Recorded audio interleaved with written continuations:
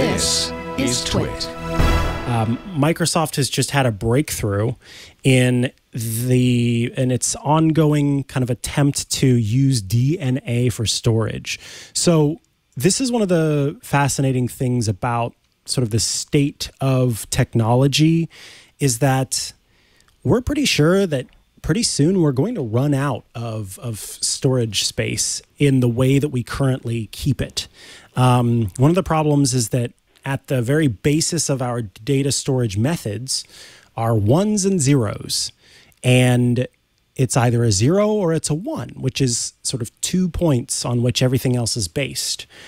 And these different scientists and researchers who are looking at a way to uh, improve upon our dor- storage, our storage um, methods, have realized that DNA could be a great way to store information because of what DNA is made up of, or of what DNA is made up. Yes.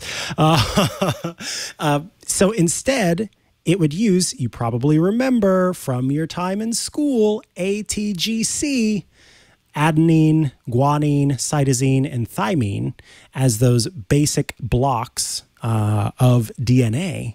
If you use those uh, pairs, then you suddenly you've got more information that you can use to uh, have DNA. So it says it turns out you can use DNA to convert ones and zeros into those four letters for storing complex data. So that means there's even more uh, availability with all of those. It says the company announced in a new research paper the first nanoscale DNA storage writer, which the research group expects to scale for a DNA write density of 25 times 10 to the sixth power sequences per square centimeter, or three orders of magnitude more tightly than before. And that means that that's more tightly than the previous versions of doing this, not more tightly than uh, you know uh, the one zero method of storing data. So it says Totally. DNA has a dense capable a density capable of storing one exabyte or one billion gigabytes per square inch. That is many magnitudes larger than what the best storage option we have right now called linear tape open magnetic tape, uh, which I believe is that's used in uh, many different sort of archival storage facilities is the uh, LTO magnetic tape. So instead of that, one exabyte, a billion gigabytes per square inch. Um, it says the International Data Corporation, I'm pulling this from the Gizmodo article. The International Data Corporation predicts data storage demands will reach nine zettabytes by 2024. Only one zettabyte of storage would be used if Windows 11 were downloaded on 15 billion devices. Using current methods, that data would need to be stored on millions of tape cartridges, the ones that we have right now.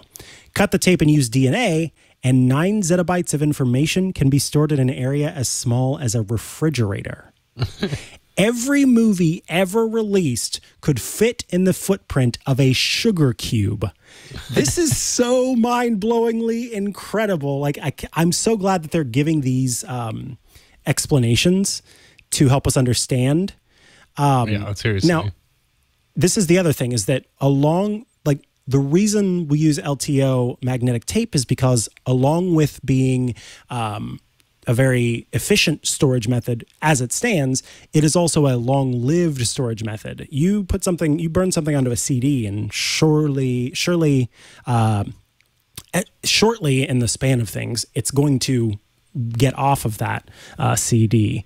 It says data stored on DNA can last for thousands of years, whereas data loss occurs on tape with 30 years, and of course, even sooner on solid state drives and hard disk drives. So, 30 years is what we have for the tape. So, every 30 years, or a little bit before that, we got to recopy that data and put it on new magnetic tape. But with the DNA method, it could be stored for thousands of years because of how incredible DNA is. So Microsoft this is is, really working hard on this to make it happen. And my God, all of the movies ever made could be stored on a sugar cube. Can you suddenly imagine instead of this SD card. I just plug a little sugar cube into a camera. I wouldn't even need that much, but like start to think about these little tiny things that you plug into your DSLR, and suddenly you've got uh, I don't know, 50,000 hours of footage you can record before you ever have to try to dump things off of it.